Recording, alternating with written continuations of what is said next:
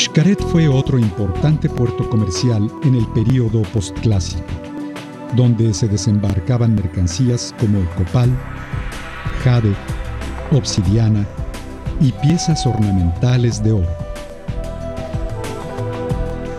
Xcaret, que significa pequeña caleta, es parte de un parque ecoturístico del mismo nombre ubicado en la Riviera Maya, donde se llevan a cabo representaciones mayas antiguas, como el juego de pelota.